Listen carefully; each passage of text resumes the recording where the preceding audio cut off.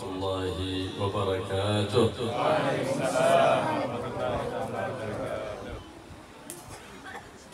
هذا هذا ولا إيش عندكم هذا روتين؟ كل يوم الخميس نعم يلا نجيب فيديو شوية في سالك سالك الحمد لله الذي وفق من أحبه للسلوك في طريقه ووفقه في السلوك لاتباع حبيبه محمد صلى الله عليه وآله وسلم وجعله من المبتدين بالنبي محمد. فمن آداب السلوك إلى ملك الملوك التعلق بمحبوب ملك الملوك محمد صلى الله عليه وآله وصحبه وسلم فهو الدليل الأعظم للسلوك لملك الملوك. الله سبحانه وتعالى والله يوفقنا وإياكم لاتباع هذا النبي الكريم والسلوك في طريق الرؤوف الرحيم. محمد صلى الله عليه وآله وصحبه وسلم ويحيينا وإياكم على اتباعه ومحبته ويحشرنا في زمرته في عافية وسلامة يا رب العالمين الحمد لله نمو كتاب يا مولي الإعلام داعي الله لحمد الله عبد الرحمن المهمان mulai tausiah beliau dengan mengucapkan hidup syukur kepada Allah dan salawat kepada baginda Nabi SAW. Tadi beliau menanyakan tentang nama majlis kita. Lalu kita beritahu kepada beliau nama majlis kita ada Asalikin maka beliau berbicara tentang apa itu suluk yang bernama salik orang berjalan dalam menjalan agama. Dan beliau menjelaskan bagi kita untuk bisa berada dalam jalur yang benar, jalur yang tepat, yakni dalam masalah suluk tersebut kita yang pertama harus selalu mengaitkan hati kita kepada Allah Subhanahu wa taala dan juga hati kita selalu bergantung kepada baginda Nabi Sallallahu Alaihi Wasallam. Dengan demikian, setelah itu dilaksanakan, maka semua pekerjaan kita, aktivitas kita, semuanya bermuara kepada orang yang dicintai oleh Allah Subhanahu Wa Taala, yaitu Habibana Muhammad Sallallahu Alaihi Wasallam. Maka beliau mendoakan kepada kita semua supaya kita mendapatkan taufik dan hidayah untuk selalu berada di jalan jalur yang telah benar ini, di suluk yang jalan benar ini, sehingga kita mendapatkan keridhaan daripada Allah Subhanahu Wa Taala.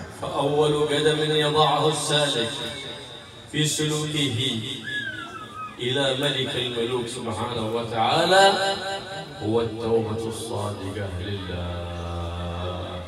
وتتحقق التوبة بالندم على ما فرط في الأيام الماضية. ويعزم عزما جيدا بأن يبدل سيئاته الماضيات بحسنات جديدات. murdiyat lillahi rabbil bariyah. Maka kata beliau langkah pertama bagi seorang yang berjalan yang salik berjalan di jalan supaya dia berada dalam keridhaan Allah Subhanahu wa taala raja diraja maka yang pertama kali dia harus lakukan adalah bertobat Bagaimana cara bertobat tersebut kata beliau tadi yaitu dengan menyesali semua yang pernah dilakukannya daripada kedurhakaan kepada Allah Subhanahu wa taala dan bertekad bertekad yang kuat tidak akan melaksanakannya lagi. Pertama yaitu bertobat dan dengan menyesal dengan senyasalnya dan di dalam hati etikat atau tekad tidak akan melaksanakannya lagi. Ini langkah pertama kata beliau. فأول ما يكون في قلب العبد من عزم في المستقبل على طاعة الرحمن بعد الاستغفار والتوبة فإنه يكون قد سلك في منهج التائبين والتائب محبوب عند رب العالمين. بل من قال تعالى إلا من تاب وآمن وعمل صالحا أولئك يبدل الله سيئاتهم حسنات ليس يغفرها فقط بل يبدلها إلى حسنات. إن كان تاب توبة صادقة واستقر الإيمان في قلبه وأتبع تلك الأعمال السيئات. بأعمال صالحات أبدل الله السيئات الماضيات إلى حسنات جديدات. وغفر الله له ما مضى وحفظه فيما بقي وما هو. آت Maka kata beliau, kalau langkah pertama telah kita laksanakan, itu dengan bertaubat dan beristighfar kepada Allah Subhanahu wa taala, maka yang akan dia dapatkan adalah Allah akan mengampuni segala dosa-dosanya. Kemudian setelah itu tidak cukup itu juga. Dalam rangka hendak laksanakan ini, maka Allah secara otomatis juga akan merubah segala hal tindak tanduknya, aktivitasnya daripada dulunya kedurhakaan kepada Allah Subhanahu wa taala, kemaksiatan kepada Allah Subhanahu wa taala dirubah menjadi sesuatu kebaikan dan kebaikan demi kebaikan. Itulah yang akan didapatkan bagi orang yang sudah berada dalam sebuah makam bertaubat kepada Allah Subhanahu wa taala. Man kana mugassiran fi يتوب إلى الله ويواظب على الصلاة في أوقاتها لأنها سبب السعادة في الدنيا وسبب السعادة في الآخرة وسبب لجلب الأرزاق الحسية وجلب الأرزاق المعنوية. Maka juga diantaranya misalnya dahulu dia sering melalaikan sholat, dulu dia kurang dalam kekhusuannya dalam melaksanakan sholatnya. Maka dengan telah bertaubat kepada Allah subhanahu wa ta'ala tersebut dia memperbaiki sholatnya. Nah ketika dia telah memperbaiki sholatnya maka berarti dia telah merubah kehidupannya menjadi sebuah kebahagiaan berubah menjadi dibukakan baginya rizki-rizki Allah subhanahu wa ta'ala baik rizki yang didapatkan dirasakan secara jasmani ataupun rizki yang didapatkan secara rohani dan kesemuanya itu didapatkan ketika dia telah bertobat kepada Allah subhanahu wa ta'ala قد قال رسول الله صلى الله عليه وآله وسلم يا أبا هريرة مر أهلك بالصلاة يرزقك الله من حيث لا تحتسب Maka seperti yang pernah diberitakan oleh baginda Nabi Sallallahu Alaihi Wasallam kepada sahabat beliau Sayyidina Abu Hurairah, wahai Abu Hurairah, perintahkanlah keluarga untuk melaksanakan sholat. Maka dengan melaksanakan sholat tersebut, engkau akan diberikan rezeki oleh Allah Subhanahu Wa Taala yang dari sesuatu yang tidak disangka-sangka. فلهذا لعظمة هذه الصلاة افترضها الله على حبيبه مصطفى في ليلة المعراج من غير واسطة ملك ليخبر عباده أن أفضل عبادة عند الله هي الصلاة أي العبادات البدنية فرضها أفضل الفروض ونفلها أفضل النوافل Maka oleh sebab itulah saking mulianya Salat ini maka Allah Subhanahu wa taala mewajibkan kepada baginda Nabi sallallahu alaihi wasallam langsung tanpa perantara malaikat. Itu menunjukkan bahwasanya salat ini adalah sepaling mulianya, sepaling afdal ibadah kepada Allah Subhanahu wa taala dan kewajibannya adalah sebaik-baik kewajiban kepada Allah Subhanahu wa taala dan segala sunnah-sunnahnya adalah sebaik-baik sunnah yang yang kita laksanakan untuk Allah Subhanahu wa taala. فالصلاة صلة بين العبد وربه فمن تركها فقد وقع الصلة قطع الصلة بينه وبين الله سبحانه وتعالى Maka salat adalah penghubung antara kita kepada Allah Subhanahu wa taala. Jadi ketika orang meninggalkan sholat berarti dia telah memutus hubungan dengan Tuhannya Allah Subhanahu wa taala.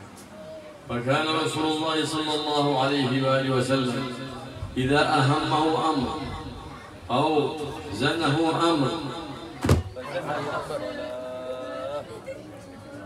وانقطع إلى الصلاة. وناجى مولاه في صلاته لله سبحانه وتعالى لأن الصلاة حضرة من حضرات الله سبحانه وتعالى.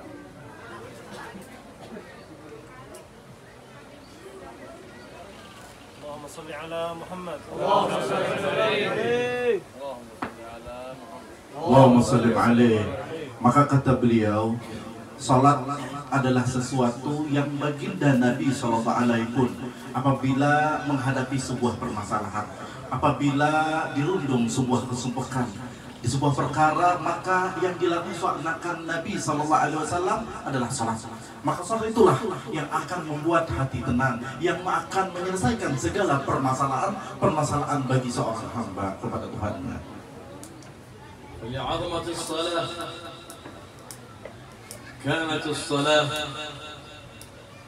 ميزان العبد في هذه الدنيا فمن أصلح صلاته في دنياه أصلح الله له سائر عمله في يوم القيامة maka sholat tersebut juga adalah menjadi sebuah barometer, sebuah timbangan bagi hamba di dunia ini. Maka apabila dia memperbaiki sholatnya berarti dia telah menyelamatkan dirinya di hari kiamat nanti. لهذا ورد أن أول ما يحاسب عليه العبد يوم القيامة الصلاة فإن وجدت تامة تمت له سائر أعماله فإن وجدت ناقصة maka ketika hari kiamat nanti pertama kali yang dihisab dan diperhitungkan adalah sholatnya. ketika sholatnya telah sempurna maka selamatlah. Yang lain-lain dimudahkan segala perkara yang lain. Tetapi manakala sholat tersebut ada sebuah kekurangan maka yang lain pun tambah sulit lagi untuk dihisabnya فلهذا أمرنا الله سبحانه وتعالى على لسان حبيب محمد بالصلاة في أوقاتها. وقال في صفة المتقين الذين من ذلك لا هدى للمتقين الذين يؤمنون بالغيب ويقيمون الصلاة. فلا تقوى إلا بإقامة الصلاة. Maka kata beliau, selain itu juga sholat adalah menjadikan simbol bagi kita. Maka ketika seseorang dikatakan dalam ayat yang beliau sampaikan tadi adalah orang-orang yang beriman tersebut adalah bertakwa. Dan ketakwaan seseorang tersebut terlihat daripada sholatnya. Maka salah satu menjadi simbol kita juga sebagai seorang mukmin yang beriman kepada hari akhir dan juga hal yang baik yaitu juga takwa dengan melaksanakan salat ahabba awladahu amarahum bis-salah min sigharihim ورباهم على محبة الصلاة والاتباع لحبيب الله محمد صلى الله عليه وآله وسلم Maka bagi kita yang mengaku cinta dan menyayangi akan anak-anak kita, kata beliau, maka sudah seharusnya kita menyuruh anak-anak kita untuk melaksanakan sholat tersebut supaya membuat dia juga menyayangi dan disayangi oleh Allah Subhanahu wa taala. والنبي محمد صلى الله عليه وسلم يقول صلوا كما رأيتموني أصلي Maka kata baginda Nabi Shallallahu Alaihi Wasallam, salatlah kalian sebagaimana kalian melihat aku salat. كيف نعرف صلاة النبي إلا بحضور مجالس العلم وبتعلم العلم المتصل بالنبي محمد صلى الله عليه وسلم. فنعرف أخلاق النبي محمد عبادة النبي محمد أدب النبي محمد صلى الله عليه وآله وسلم. وبهذا تقر بنا عين النبي محمد بإقامة شرع النبي محمد وإحياء سنة النبي محمد صلى الله عليه وآله وسلم. Bagaimana kita bisa ingin melaksanakan sholat seperti sholatnya baginda Nabi Shallallahu Alaihi Wasallam kecuali dengan hadir seperti majelis seperti ilmu. Di dalam majelis ilmu lah kita bisa mempelajari sholatnya Nabi. Di dalam majelis ilmu pula kita mempelajari ilmunya Nabi. Dan di majelis ilmu pula, majelis ta'lim pula kita bagaimana mempelajari akhlak dan serta tidak apa aktivitas daripada baginda Nabi Shallallahu Alaihi Wasallam. Maka disitulah kita bisa bisa mempelajarinya. Dan setelah bisa mempelajarinya kita bisa menerapkannya dalam kehidupan kita. وتقر الإنسان عينه بأولاده في الدنيا وبعد مماته إذا هو رباهم على هذا المنهج القويم. منهج الرؤوف الرحيم محمد. فإنهم بيعرفون حقوق الوالدين وبيؤدونها في حياته. وبعد مماته في حياته بالبر وبعد مماته بالزيارة والاستغفار والصدقة عنه وبالذكر الحسن بعد وفاته فإن الإنسان يبقى حيا بعد مماته. بذكر حسن في أبنائه إن رباهم على الأدب الحسن والخلق الحسن والمنهج الحسن المتصل بجد الحسن محمد صلى الله عليه وآله وسلم. Maka sudah sepatutnya bagi kita yang sayang kepada anak kita yaitu mengajarkan akhlak baginda Nabi Sallallahu Alaihi Wasallam. Salah satunya yaitu dengan kita menyuruh mereka untuk sholat.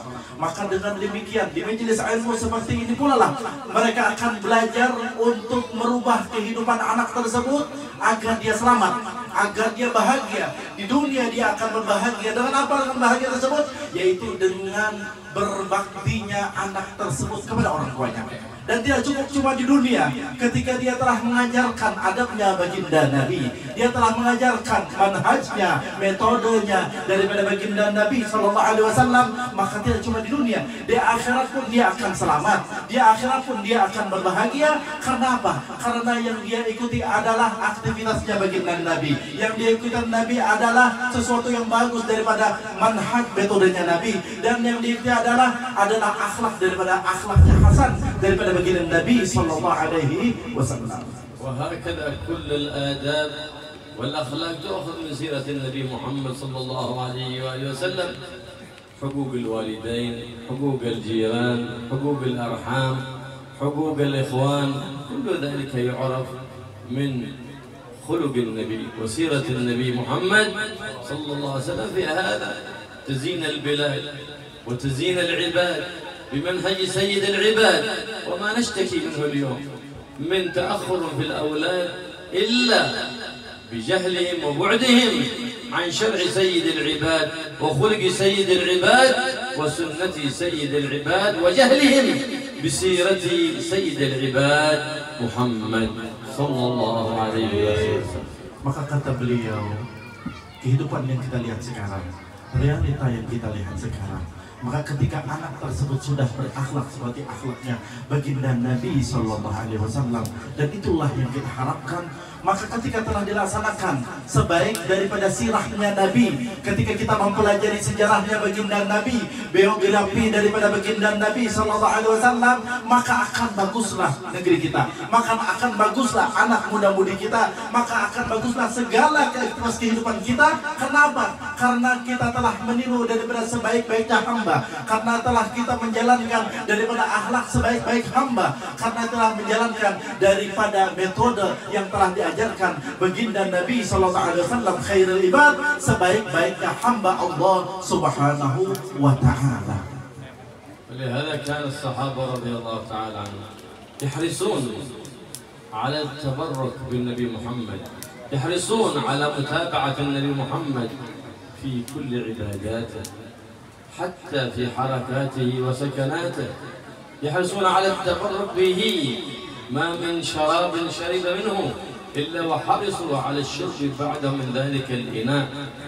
بل ربما يأتون بآنيتهم التي فيها الماء ويضعونها أمام بيت النبي محمد صلى الله عليه وآله وسلم ليطرح يده تبركا بيده صلى الله عليه وسلم وهو من أخلاقه الكريمة.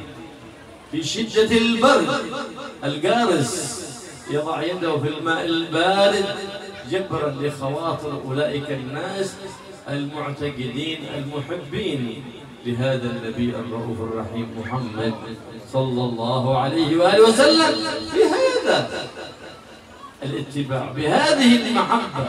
قوي الإيمان واليقين فصارت القلوب تكشف لها من علم علام الغيوب. Maka dengan demikianlah kita lihat bagaimana para sahabat. Mereka sangat bersungguh-sungguh, mereka sangat berlomba-lomba untuk mendapatkan keberkahan daripada Nabi. Mereka bertabarruk kepada Nabi. Mereka bersungguh-sungguh dalam mengikuti segala apa yang dilakukan Nabi, baik duduknya Nabi atau gerakannya Nabi. Mereka ikuti. Bahkan di antara mereka sebagaimana yang beliau ceritakan tadi, ada sahabat-sahabat yang mereka sangat cinta kepada Nabi Sallallahu Alaihi Wasallam.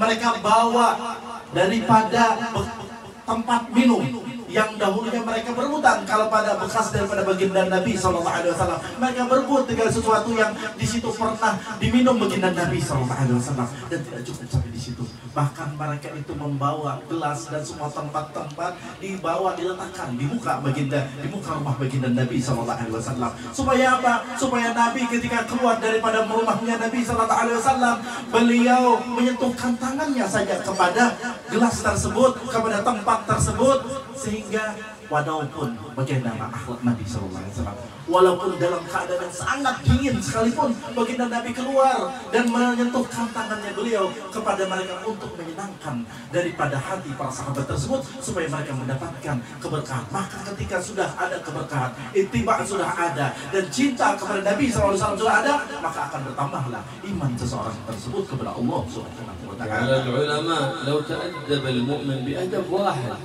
من أدب النبي محمد لظهر عليه نور من أنوار الولاية. ولو بأدب داخل الخلاء فكيف إذا تأدب بكل آداب النبي محمد؟ لسطعت على قلبه الأنوار ولا صار مخطوبا لحضرة الملك الغفار سبحانه وتعالى. Maka kata beliau, andai kata satu orang mereka satu orang tersebut menjalankan satu aja daripada adab Nabi SAW. Misalnya bagaimana dia meniru adab Nabi SAW ketika di kamar mandi. Maka ketahuilah kata beliau, satu adab tersebut akan mengeluarkan cahaya nur daripada kewalian seseorang yang dia dapatkan daripada baginda Nabi SAW. Lalu bagaimana lagi kalau dia tidak cuma satu melakukan adab Nabi, bahkan banyak daripada adab yang Nabi dilakukan, maka akan terbukalah segala hijab, maka akan terbukalah baginya segala kebaikan-kebaikan daripada Allah Subhanahu wa taala. ولا تكون القلوب حق للرحمن فعسى كما نزلت علينا هذه الرحمة الحسية. الله الله يمطر على قلوبنا وقلوب رحمة معنوية. يمن. علينا بها بتوبة نصوحة. يزكينا بها جسما وقلبا وقالبا وروحا. ويجعل قلوبنا معمورة بذكر الرحمن وتلاوة القرآن. وبالصلاة على حبيب الرحمن محمد صلى الله عليه وسلم. Kata beliau, sekarang kita diturunkan hujan daripada hujan rahmatnya Allah Subhanahu wa taala. Hari ini kita melihat hujan secara kasat mata kita.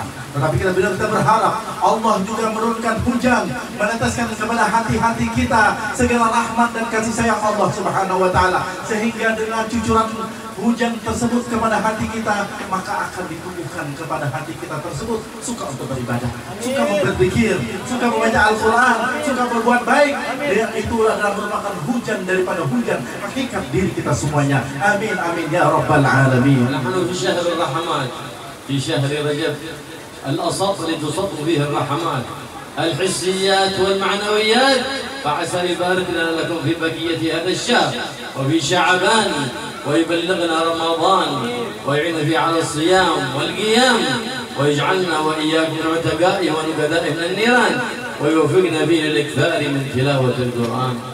Sekarang kita berada di bulan yang penuh diturunkan akan rahmat.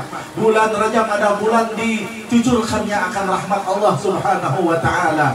Dituangkan akan kita rahmat daripada Allah Subhanahu wa taala. Maka beliau mendoakan kepada kita semua, semoga kita bisa menjalankan sisa daripada bulan Rajab ini sehingga sampai ke bulan Ramadan nanti dengan melalui semua tersebut maka kita diberikan kekuatan untuk bisa beribadah kepada Allah Subhanahu wa taala. Dan dengan ibadah tersebut nantinya akan diampunkan segala dosa kita dan dengan itu semua juga maka akan dihilangkan atau dijauhkan kita daripada azab api neraka. Amin ya rabbal alamin. هذه الأيام هي أفضل أيام يفتح الإنسان فيها صفحة جديدة مع الله لأن من أحسن العمل فيها وفقه الله للإحسان في شعبان والإحسان في رمضان وإدراك ليلة القدر ليلة الغفران في شهر رمضان Dan hari-hari kita yang kita lalui ini adalah hari-hari pembukaan. Hari-hari yang bagi kita untuk bisa merubah yang dahulunya tidak baik maka di saat sekarang ini di bulan Rajab ini adalah kesempatan kita untuk membuka sebuah lembaran-lembaran baru. Maka ketika kita telah diberikan taufik dan hidayah bisa berbuat kebaikan di bulan Rajab yang mulai ini, maka tentunya di bulan Sya'ban dan di bulan Ramadan akan dimudahkan juga dimudahkan kita untuk beribadah kepada Allah Subhanahu wa taala. ينبغي دائما الاكثار من الاستغفار لا سيما في شهر رجب ينبغي اكثر الاكثار من الاستغفار لانه شهر الاستغفار وشهر التوبه والرجوع للملك الغفار سبحانه وتعالى Maka terlebih lagi di bulan Rajab yang sangat mulia ini kita dianjurkan untuk memperbanyak istighfar dan taubat kepada Allah Subhanahu wa taala karena khususnya di bulan Rajab ini adalah bulan istighfar dan taubat tersebut untuk mendapatkan ampunan daripada Allah Subhanahu wa taala yang Maha Pengampun. وشعبان شهر الصلاة على النبي محمد صلى الله عليه وآله وصحبه وسلم. فينبغي أن نكثر من الصلاة على النبي على الإطلاق لا سيما في شهر النبي شهر الصلاة على النبي شهر شعبان الذي أنزل فيه قوله سبحانه وتعالى على حبيب الرحمن إن الله وملائكته يصلون على النبي.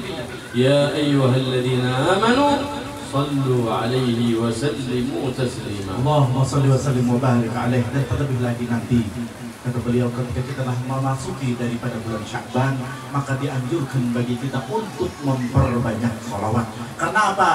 Kalau sholawat kita dianjurkan setiap saat, setiap waktu, setiap hari Maka terlebih lagi di bulan Syakban Karena apa? Karena wahyu yang diturunkan Allah subhanahu wa ta'ala Yang berbunyi seperti yang beliau lantunkan tadi Yaitu ayat Al-Quran Allah wa malaikatahu yusalluna ala nabi Ya ayyuhalladzina amanu sallu alaihi wa sallimu taslima. Ayat tersebut diturunkan di bulan Sya'ban. ومن أقوى الأسباب المثبتة للسلوك في طريق ملك الملوك مثبتة أقدام السالكين بعد التوبة الصادقة والاستغفار الإكثار من الصلاة على النبي المختار محمد صلى الله عليه وآله وسلم فإنها تنفي الخبث من قلب الإنسان كما ينفي لما تنفي النار كما ينفي الكير خبث الحديد. Jadi kata beliau di antara sesuatu yang bisa menguatkan iman kita terkhusus bagi para salikin kata beliau kita nanti bagi salikin di untuk memperkuat iman kita dan langkah kita untuk menuju ridha Allah Subhanahu wa taala yaitu dengan memperbanyak sholawat. Karena apa kata beliau? Sholawat tersebut akan menghapus noda-noda yang ada di dalam hati kita. Sebagaimana kata beliau tadi, orang kalau ingin menghilangkan karatan di dalam besi maka itu dengan dengan api maka untuk menghilangkan semuanya apa kotoran di ada hati kita noda-noda yang ada di hati kita kita membaca dengan memperbanyak salawat kepada baginda Nabi sallallahu alaihi wasallam. Man aktsara min al-istighfar wa salati ala Nabi Muhammad habib rahman ja'alahu Allah fi aman min kulli baliyah, min kulli musibah fi dunya wa fil akhirah wa aman min al-corona ومن الفيروس ومن البليات دنيوية وأخرية أمان هذا هو الفقسين الحق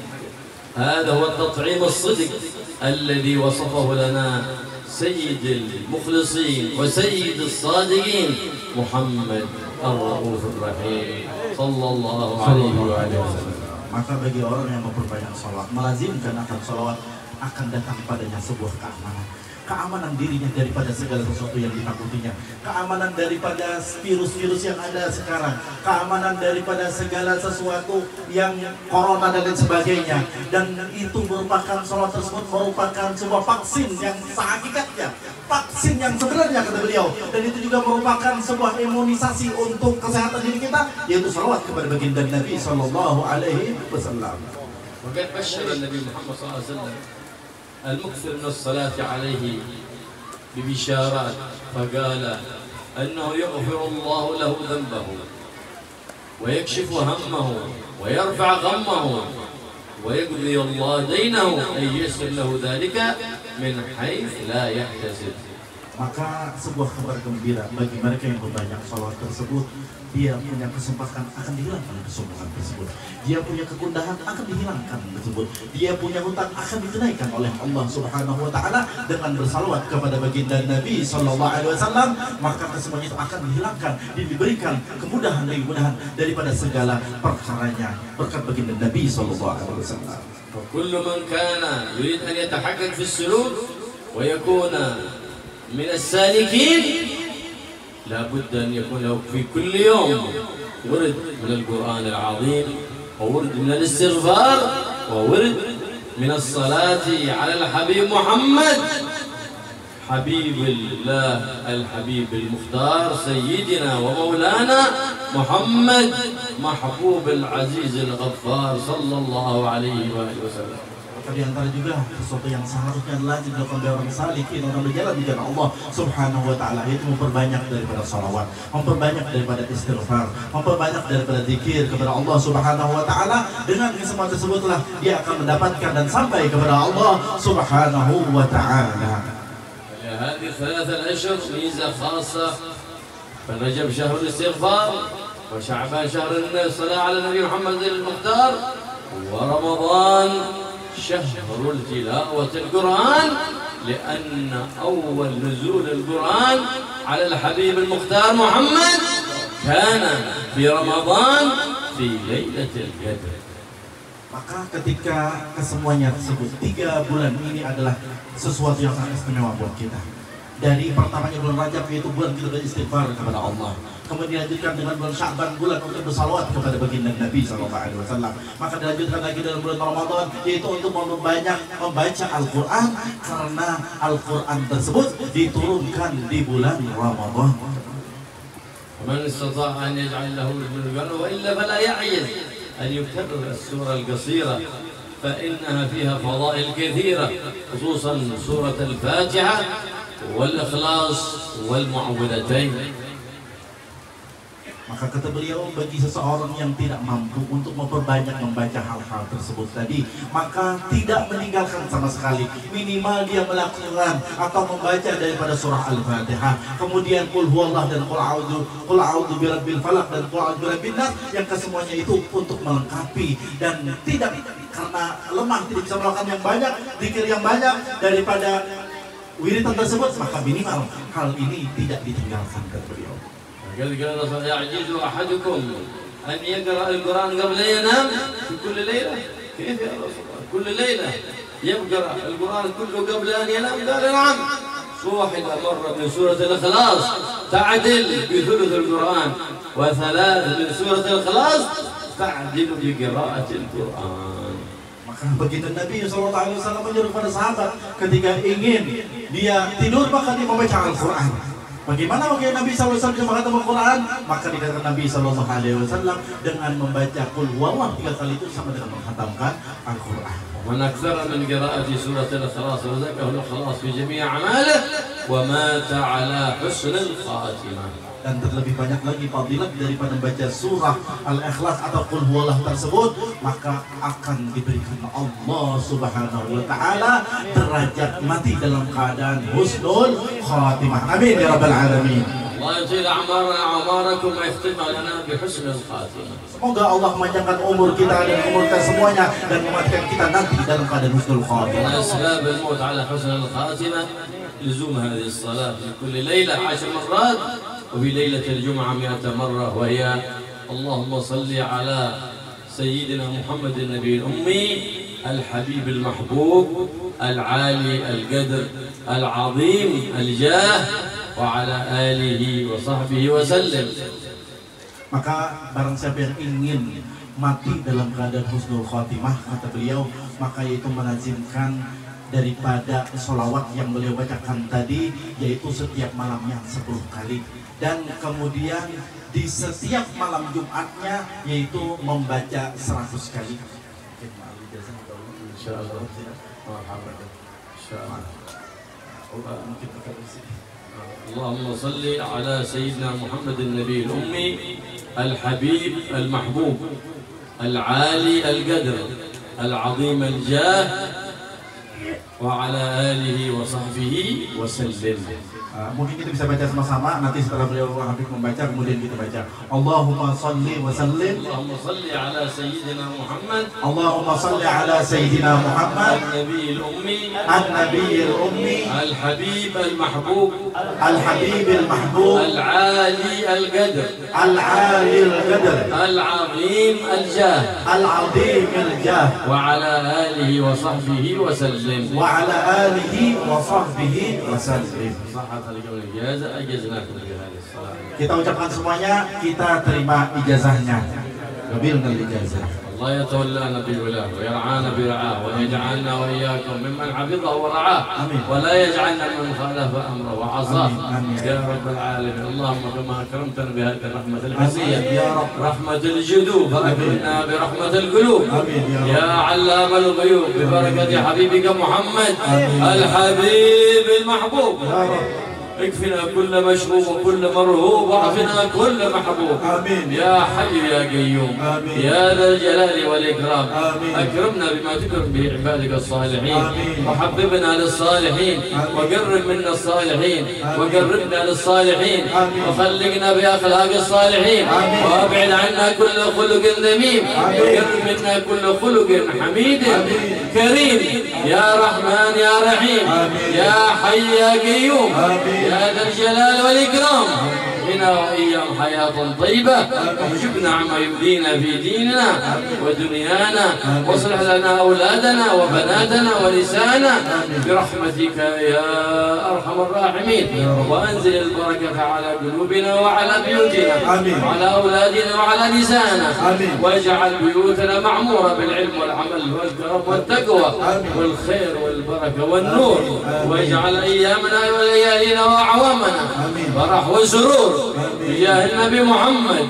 بدر البدور يا عزيز يا غفور يا شكور يا حي يا قيوم يا ذا الجلال والإكرام. واجعلها مستقر العلوم النافعة. واجعل أرباب العلوم النافعة في قلوبنا وقلوب أولادنا وأحبابنا وأولادنا. فادنا وأصباطنا يا رب العالمين.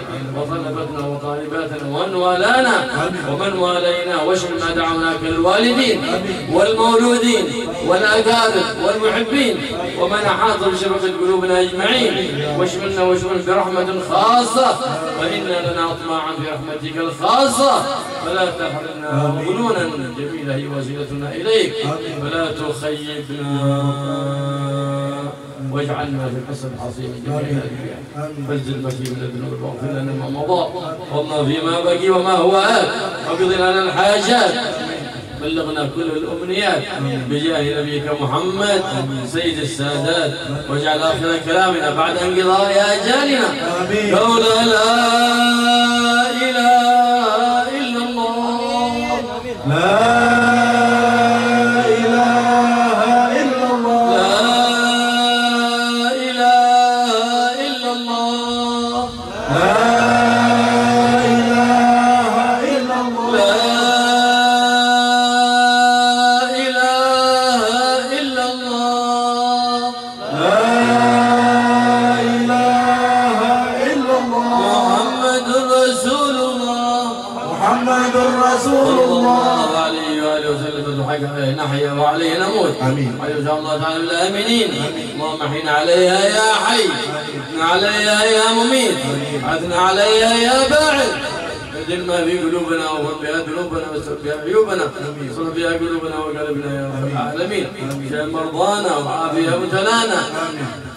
وارحم بها أحيانا وامواتنا يا رب العالمين واجعلنا من أبر الأبناء بالآباء يا والامهات رب. احياء آمين. واموات آمين. آمين. برحمتك يا أرحم الراحمين.